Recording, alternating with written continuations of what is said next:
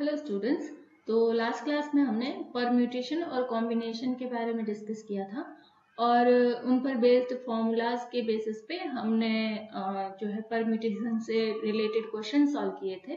तो इस क्लास में हम, जो हमने लास्ट क्लास में कॉम्बिनेशन पढ़ा था और उससे रिलेटेड फॉर्मूलाज देखे थे, उन फॉर्मूलाज पर बेस्ड जो है आज हम क्वेश्चन देख रहे हैं, ठीक है? तो सबसे पहला क्वेश्चन लेते हैं यहाँ पे कि अगर आपको इस प्रकार से कोई क्वेश्चन दे रखा हो 24 सी फोर ओके तो इसका बेसिकली मतलब क्या है यहाँ पे? 24 क्या है? 4 क्या है? तो 24 यहाँ पे बेसिकली n है, यानी कि टोटल नंबर ऑफ़ ऑब्जेक्ट्स और अल्फाबेट्स और नंबर्स कुछ भी हो सकता है, ठीक है? तो यहाँ पे टोटल नंबर ऑफ़ ऑब्जेक्ट है ये 24 और 4 क्या है? 4 यहाँ पे है r की वैल्यू r फोर। यानी कि हम कह रहे हैं कि ये क्वेश्चन कहता है कि 24 ऑब्जेक्ट्स हैं, उनमें से आपको चार ऑब्जेक्ट सेलेक्ट करने हैं और उन चार ऑब्जेक्ट के कितने कॉम्बिनेशन तैयार किए जा सकते हैं, वो बताओ। ठीक है? तो आपको यहाँ पे वो वाला फॉर्मूला यूज़ करना है, जिसमें आप लिखते हैं n factorial by r factorial n minus r factorial ठीक है? तो यहाँ पे एन फैक्टोरियल एन क्या है? एन का वैल्यू कितना है? ट्वेंटी फोर है, ठीक है? और इसका फैक्टोरियल। उसके बाद जो है, हम यहाँ पे लिखते हैं आर कितना है? फोर है। तो फोर का फैक्टोरियल। ये ट्वेंटी फोर माइनस फोर का factorial. Twenty four minus four कितना हुआ? ट्वेंटी हुआ, ठीक है? तो हम यहाँ लिख देंगे, ट्वेंटी फोर का फैक्टोरियल बाय फोर का फैक्टोरियल बाय ट्वेंटी का फैक्टोरियल।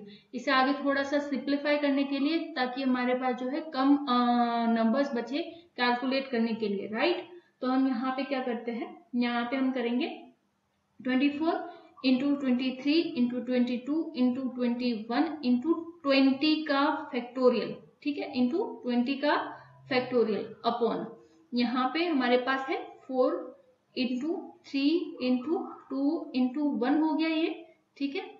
इंटू ये हमारे पास है ट्वेंटी का फैक्टोरियल यहाँ पे ट्वेंटी का फैक्टोरियल फैक्टोरियल से ट्वेंटी का फैक्टोरियल जो है वो कैंसिल आउट हो जाएगा। और यहाँ पे फोर से हम ट्वेंटी फोर को सिक्स टाइम जो है वो कैंसिल कर देते हैं यहाँ पे।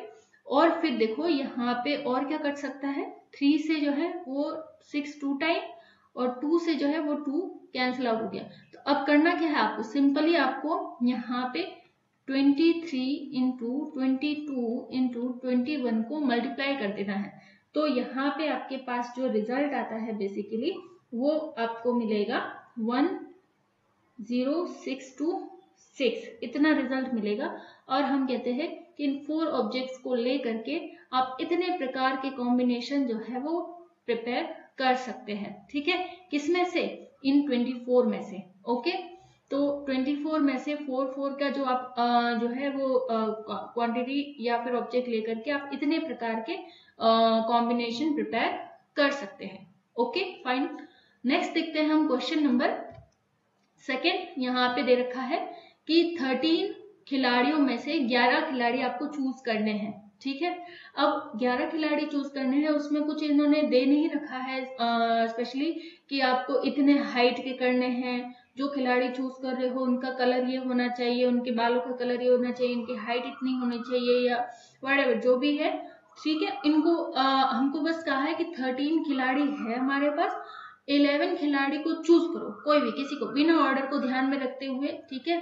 उनकी हाइट को बिना ध्यान में रखते हुए उनके आ, जो है क्वालिफिकेशन को बिना ध्यान में रखते हुए बस ग्यारह को सिलेक्ट करो और उन ग्यारह को आप कितने टाइप से सिलेक्ट कर सकते हो ओके तो ये जो क्वेश्चन है यहाँ पे और वो भी, यहाँ पे कोई पर्टिकुलर आपको कंडीशन नहीं दे रखी है तो यानी कि कॉम्बिनेशन की ही बात हो रही है। कोई कंडीशन नहीं दे रखी कि इस प्रकार से चूज़ करो, उस प्रकार से चूज़ करो राइट तो यहाँ पे सिंपली हमें क्या निकालना है? कॉम्बिनेशन निकालना है कि उन इलेवन खिलाड़ियों का कॉम्बिनेशन क्या होगा इन थर्टीन में से राइट तो यहाँ पे इस तरह से अगर कोई क्वेश्चन दे रखा हो तो आपको सिंपली पहले उसको इस प्रकार से लिख देना है कि थर्टीन में से ग्यारह सेलेक्ट करने हैं, बिना ऑर्डर को, बिना किसी कंडीशन को ध्यान में रखते हुए। तो ये बस फिर पहले वाले की तरह ही हो गया क्वेश्चन क्या करना है? थर्टी फैक्टोरियल अपॉन इलेवन का फैक्टोरियल थर्टीन का माइनस इलेवन का फैक्टोरियल तो ये हो जाएगा, ठीक है? थर्टीन माइनस इलेवन कितना हुआ? टू हुआ, ठीक है? तो हम यहाँ पे लिख देंगे थर्टीन इंटू ये नीचे देखो इलेवन का फैक्टोरियल लिख रखा है ना तो टू इंटू इलेवन का फैक्टोरियल तक ही रखो, इसको आगे क्यों बढ़ाना है? जब आराम से यहाँ पे आप इलेवन से इलेवन कैंसिल कर सकते हो। राइट यहाँ पे इलेवन का फैक्टोरियल हो गया और यहाँ से बचा क्या था? थर्टीन इंटू इलेवन टू हो गया। टू इंटू वन लिख दो सीधा फैक्टोरियल टू इंटू वन लिख दे। ओके तो यहाँ पे ये हो गया। तो यहाँ से हम इसे कर देते हैं कैंसिल आउट ओके अगर आपको डायरेक्ट समझ में नहीं आ रहा तो मैं इसको लिख ही देती हूँ यहाँ पे कि हम यहाँ पे क्या लिखेंगे? टू का फैक्टोरियल इसे आगे सॉल्व करते हैं तो टू इंटू वन लिखते हैं राइट तो यहाँ पे टू का फैक्टोरियल है। अब मैं जो है इसको हटा देती हूँ फैक्टोरियल में लिखे। तो इसको मैं लिखूँगी टू इंटू वन ओके अब जो है नीचे ओनली टू बचा है। टू से ट्वेल्व को जो है सिक्स टाइम जो है वो आप कैंसिल कर दो यहाँ पे। और पीछे जो भी रिज़ल्ट आएगा इसका वो क्या हो जाएगा हमारा कि इतने टाइप से आप थर्टीन में से आ, जो है इलेवन कैंडिडेट को चूज़ कर सकते हो। रिज़ल्ट कितना आएगा? सेवेंटी एट टाइप से आप थर्टीन में से इलेवन कैंडिडेट को चूज़ कर सकते हो। ठीक है? चलो ये हो गया आ, ये वाला क्वेश्चन नेक्स्ट जो देखते हैं हम कि क्वेश्चन कह रहा है ट्वेल्व या बारह वस्तुओं को यानी ट्वेल्व ऑब्जेक्ट्स को चार लोगों में आपको समान रूप से जो है वो बांटना है। तो आप कितने प्रकार से बांट सकते हो? अगेन कोई कंडीशन नहीं दे रखी कि किस टाइप से बांटना है वगैरह। बस सिंपल कह रहा है, कोई बारह चीज़ें दे रखी है आपको, बारह ऑब्जेक्ट दे रखे हैं, चार लोगों में आपको बांटना है, बांटो किस, कैसे भी करके, ठीक है? तो यहाँ पे हम कह रहे हैं कितने टाइप से बांटा जा सकता है। तो हम कहते हैं, पहले तो ट्वेल्व तो ऑब्जेक्ट है हमारे पास, ठीक है? फोर यहाँ पे गलती से भी आर मत लिख देना। ये आर नहीं है, ठीक है? आर जो है, वो आगे आएगा। कैसे आएगा देखो। पहली बात तो ये कह रहा है, बारह ऑब्जेक्ट को चार लोगों में बांटना है तो एक पर्सन के पास कितने ऑब्जेक्ट आएँगे? तो एक पर्सन के पास जो ऑब्जेक्ट आएँगे, वो आएँगे तीन। ठीक है? और अगर हर पर्सन के पास तीन तीन ऑब्जेक्ट आते हैं तो ये कितने हो जाते हैं? बारह हो जाते हैं। यानी कि एक पर्सन के पास तीन ऑब्जेक्ट आएँगे। ठीक है? तो हम यहाँ पे कौन सा फॉर्मूला यूज़ कर सकते हो? हर एक पर्सन के पास तीन ऑब्जेक्ट आएँगे। तो हम यहाँ पे आपको नेक्स्ट वाला जो फॉर्मूला था हमारे पास, वो वाला हम यहाँ पे यूज़ में लेंगे। वो फॉर्मूला कौन सा था? कि आपको टोटल कॉम्बिनेशन अगर ऐसे केस में निकालने हैं टोटल कॉम्बिनेशन ऐसे केस में आपको निकालने हैं टोटल कॉम्बिनेशन तो आपको ये वाला फॉर्मूला यूज़ में लेना पड़ेगा कि n factorial n factorial upon n one का फैक्टोरियल इंटू एन टू का फैक्टोरियल अब यहाँ पे क्योंकि चार पर्सन है तो हम यहाँ पे लिखेंगे डायरेक्ट एन थ्री का फैक्टोरियल और ये एन फोर का फैक्टोरियल ठीक है? टोटल ऑब्जेक्ट कितने हैं? ट्वेल्व है। हर पर्सन को कितने मिले थ्री मिले तो पहले पर्सन को थ्री मिले थ्री का फैक्टोरियल दूसरे को भी थ्री मिले थ्री का फैक्टोरियल तीसरे को भी थ्री मिले थ्री का फैक्टोरियल चौथे को भी थ्री मिला थ्री का फैक्टोरियल अब किस प्रकार से मिला? ठीक है, उससे कोई फ़र्क नहीं पड़ता राइट अब बस यहाँ पे आपको क्या करना है? सिंपली जैसे सॉल्व करते हुए वैसे सॉल्व करना है कैसे होगा। Twelve into eleven into ten nine eight seven six five into three sorry four into three का फैक्टोरियल एक तो यहाँ से कैंसिल आउट हो जाएगा राइट थ्री का factorial three into two into one पहले का सॉल्व कर दिया हमने, इस वाले को मान लो, ठीक है? फिर दूसरे वाले को करते हैं, वो भी क्या होगा? Three into two into one फिर नेक्स्ट वाले को करते हैं three into two into one और लास्ट वाला तो एज इट इज़ लिख लेते हैं, क्योंकि थ्री फैक्टोरियल से थ्री फैक्टोरियल कैंसल आउट हो जाएगा। इस सबको सॉल्व कर लो। आराम से इतना तो सॉल्व करना सबको आता है, ठीक है? इतनी मैथमेटिक्स तो आई होप कि सबको आती है। आप इसे जैसे ही सोल्व करोगे तो रिज़ल्ट आ जाएगा three six nine six double zero ठीक है? तो हम क्या कह रहे हैं कि बारह ऑब्जेक्ट्स को चार लोगों में आप इस प्रकार इतने टाइप से जो है वो डिस्ट्रीब्यूट कर सकते हो। अगर हर पर्सन को तीन तीन ऑब्जेक्ट मिल रहे हैं तो वो तीन तीन ऑब्जेक्ट जो है इतने प्रकार से डिस्ट्रीब्यूट किए जा सकते हैं। क्लियर है इतना? ठीक है? तो आई होप आपको इतना क्लियर हो गया होगा। लास्ट क्वेश्चन यहाँ पे हम देखते हैं कॉम्बिनेशन का, जिसमें क्वेश्चन कह रहा है कि दस लड़कों तथा दस लड़कियों में से दस की समिति बनानी है, ठीक है? टेन बॉयज़ दे रखे हैं टेन गर्ल्स है, और टोटल कितने हो गए? ट्वेंटी हो गए। पर एक कमिटी बनानी है, जिसमें ओनली टेन जो है पर्सन चाहिए ओके अब ये कह रहा है कि यह कितने प्रकार से किया जा सकता है?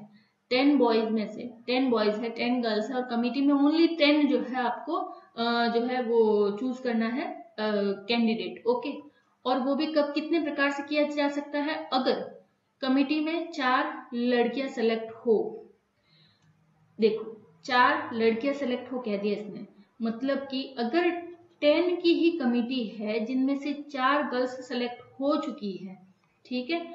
तो जो सिक्स होंगे, वो क्या होंगे? बॉयज़ होंगे। क्लियर है इतना? ठीक है?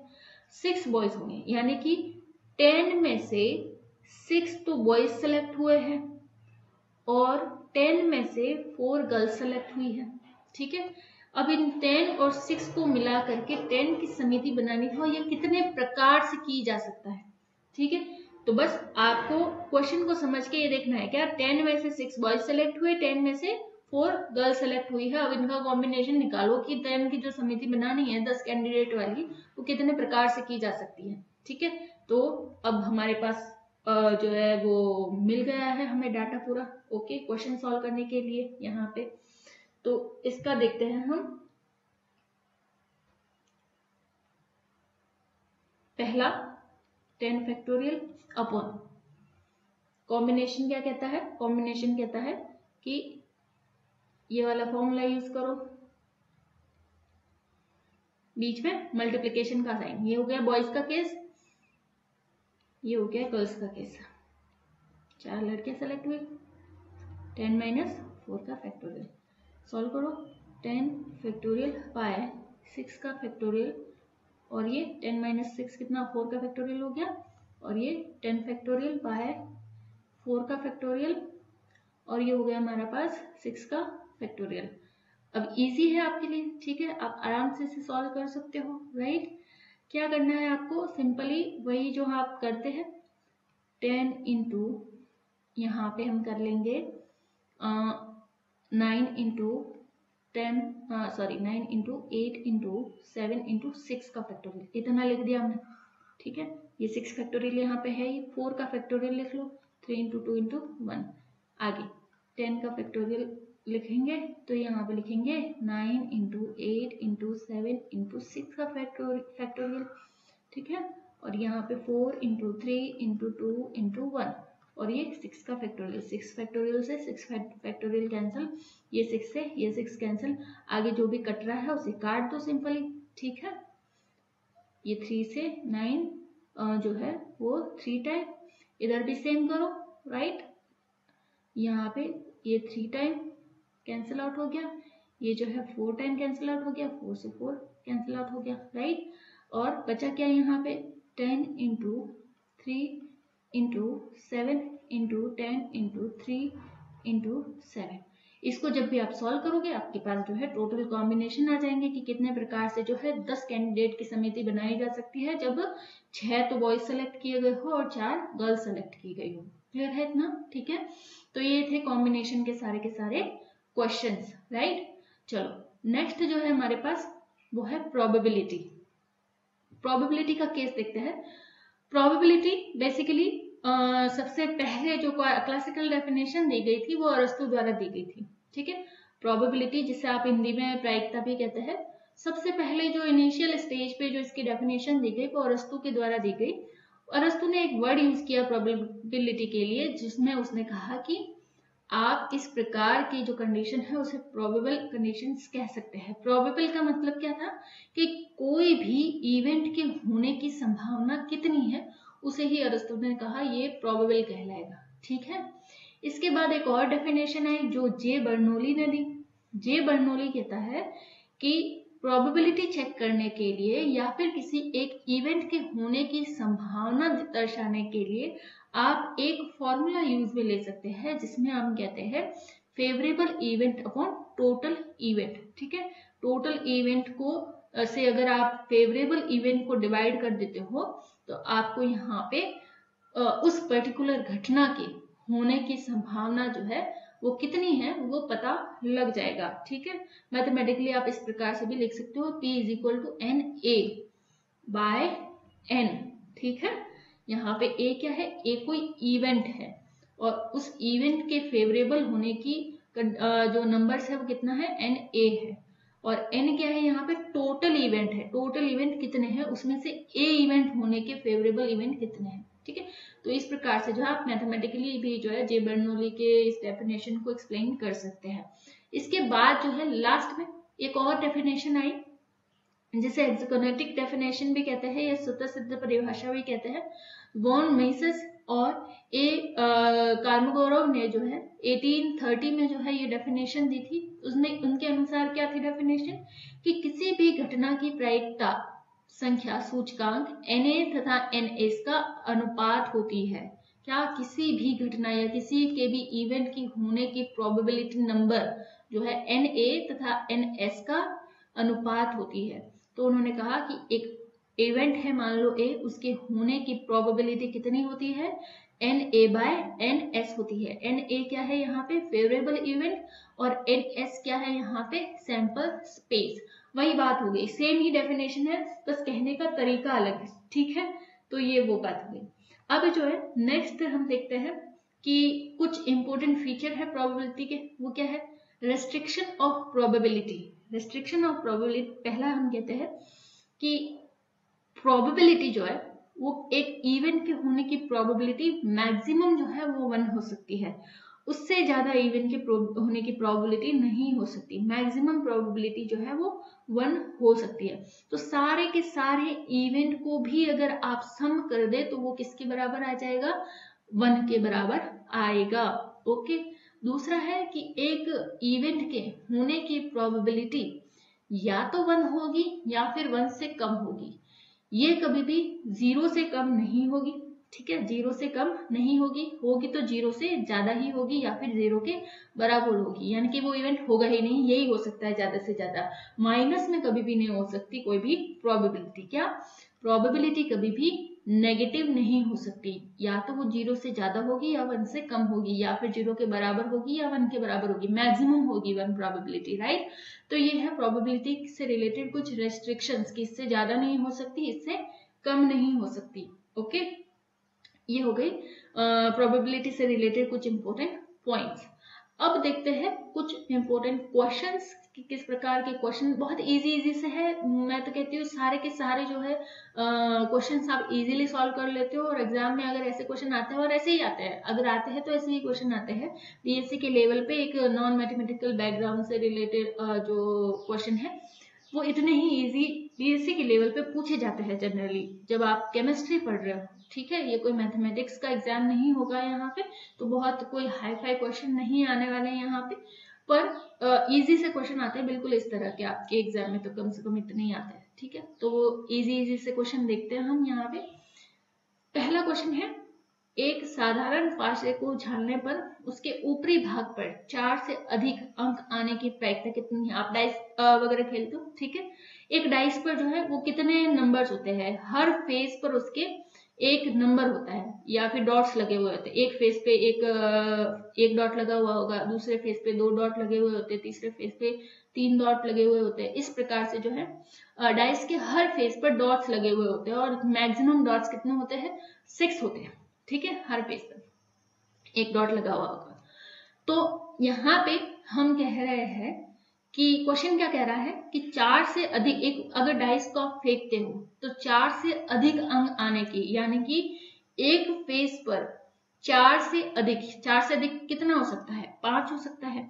चार से अधिक कितना हो सकता है? एक डाइस में पाँच हो सकता है या छह हो सकता है, दो ही कंडीशन हो सकती है। तो हम यहाँ पे कहते हैं कि फेंकने पर चार से अधिक आने की जो संभावना है, वो कितनी है? वो दो संभावनाएँ हैं यहाँ पे। तो फेवरेबल इवेंट कितने हुए? फेवरेबल इवेंट तो हुए यहाँ पे टू ओनली टू है, ठीक है? और टोटल इवेंट कितने हैं? डाइस को आप फेंकते हो तो छह प्रकार के नंबर्स आपको मिल सकते हैं, ठीक है? तो टोटल इवेंट कितने हुए? टोटल हो गए सिक्स टोटल हो गए सिक्स राइट तो अगर आपको यहाँ पे प्रोबेबिलिटी चेक करना है तो कैसे करोगे? आप यहाँ पे, हमें पता है प्रोबेबिलिटी क्या होता है? Favourable event upon total event बस वन बाय थ्री और इसको सॉल्व करोगे, जो भी प्रोबेबिलिटी आपको आती है ज़ीरो पॉइंट थ्री थ्री बराबर ठीक है? ये इतनी क्या हो गई? इसकी प्रोबेबिलिटी हो गई. यानी कि फोर से अधिक अंक आने की प्रोबेबिलिटी कितनी है? वो वन बाय टू है. सॉरी वो वन बाय थ्री है. क्लियर है इतना? ठीक है? चलो. नेक्स्ट है, देखते हैं हम यहाँ पे नेक्स्ट क्वेश्चन हमारा। कि एक थैले में तीन लाल गेंद है और पाँच जो है सफ़ेद गेंद रखी हुई है, ठीक है? एक गेंद निकाली जाती है, इसकी सफ़ेद होने की प्रायिकता कितनी है? तो इजीली आप कह सकते हो यहाँ से सफ़ेद होने की प्रायिकता कितनी है? पाँच ही गेंद है। पाँच ही बार जो है वो निकल सकती है। तो सफ़ेद गेंद उससे ज़्यादा भी निकालने की कोशिश करोगे तो लाल हाथ में जाएगी ठीक है? तो फेवरेबल इवेंट कितने हैं यहाँ पे? फेवरेबल इवेंट तो है पाँच। टोटल इवेंट कितने कितनी बार आप बॉल निकाल सकते हो? आठ बार निकाल सकते हो। तीन बार ये ती, पाँच बार ये। टोटल इवेंट कितने हैं? आठ है। फेवरेबल कितने हैं? यानी कि सफ़ेद आने की संभावना कितनी है? पाँच है। तो हम यहाँ पे प्रोबेबिलिटी निकालेंगे फेवरेबल अपॉन टोटल क्लियर है? इस प्रकार से भी आप जो है वो प्रोबेबिलिटी चेक कर सकते हैं। लास्ट क्वेश्चन है यहाँ पे हमारा कि एक लॉटरी में आठ इनाम की टिकटें हैं। ये क्वेश्चन मैंने थोड़ा ऊपर टांग लिखा है, ऊपर नीचे हो गई लाइन सॉरी फॉर दैट तो यहाँ पे हम क्वेश्चन पे फोकस करेंगे ओके तो एक लॉटरी में आठ इनाम की टिकटें तथा बत्तीस अतिरिक्त टिकटें हैं। यानी कि टोटल टिकट्स कितनी है? टोटल टिकट्स कितनी है यहाँ पे? एट तो जो है इनाम की है। ओके? इससे तो हमें प्राइज मिलेगा। और थर्टी टू जो है, वो अलग है। मतलब वो आपको ले भी लेते हो तो उससे कोई प्राइज, उस पर कोई प्राइज नहीं है। यानी कि टोटल तो जो है यहाँ पे कितनी हो गई? फोर्टी हो गई। ठीक है? एक व्यक्ति एक टिकट खरीदता है। उसके इनाम जीतने की जो है, वो प्रायिकता कितनी है? तो इनाम तो केवल आठ टिकटों पर ही है तो फेवरेबल इवेंट कितने हुए? फेवरेबल इवेंट हुए हमारे पास आठ। फेवरेबल इवेंट कितने हुए? आठ। तो प्रोबेबिलिटी कितनी हो सकती है? फेवरेबल आठ है और टोटल कितने हैं? फोर्टी है, ठीक है? तो इसको जब आप सॉल्व करते हो तो आपको आराम से यहाँ पे प्रोबेबिलिटी मिल जाती है उस पर्सन के जीतने की। क्या? उस पर्सन के जीतने की अगर वो एक टिकट खरीदता है तो एट बाई फोर्टी की प्रोबेबिलिटी है कि वो जीत जाएगा। ठीक है? तो ये था प्रोबेबिलिटी वाला जो है टॉपिक यहाँ पे कंप्लीट होता है। आपकी बुक में दो तीन क्वेश्चन और एक्स्ट्रा दे रखे हैं। उनको आप एक बार देख लेना। जो हमने अभी किए हैं क्वेश्चन वैसे ही क्वेश्चन है सिमिलर से। ठीक है? तो इस क्लास में इतना ही, और इसके साथ ही आपकी यूनिट फ़र्स्ट जो है वो कंप्लीट होती है। नेक्स्ट क्लास में हम कोलोइडल वाली यूनिट देखेंगे, जो आपकी शायद फोर्थ यूनिट है। ओके चलो।